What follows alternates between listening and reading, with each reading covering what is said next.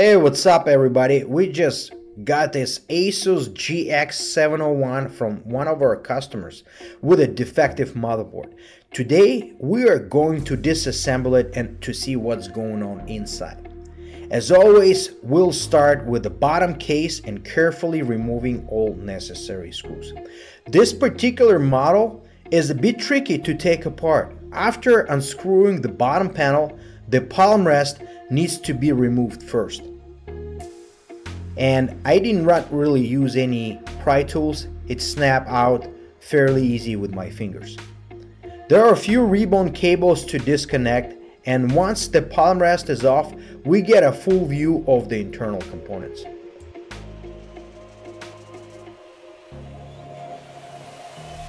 I'll begin my journey here by disconnecting snap-on power cable and deattach the battery. There are a few Phillips screws that need to be pulled and once the battery out you can clearly see on internal part of the battery the actual part number if in case you need to replace it.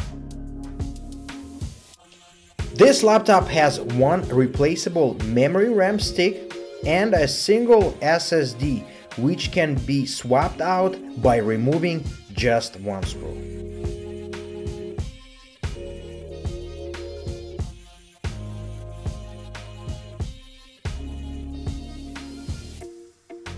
Now, let's move on to the heatsink and the cooling fans. The cooling system in this laptop is massive, and as you can see, it's pretty dusty and clogged. In cases like this, cleaning the fans is essential. If you are replacing the heatsink, always make sure to replace and reapply thermal pads and thermal paste for optimal performance. Now, let's disconnect the Wi-Fi antenna cables and start the motherboard removal process. There are only three screws holding it in place and with those out, the motherboard comes free.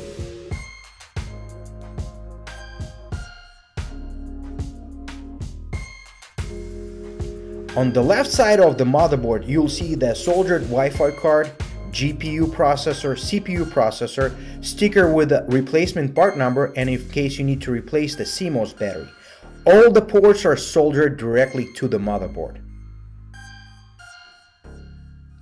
Finally, I'll detach the LCD screen and the last but not least, remove two internal speakers.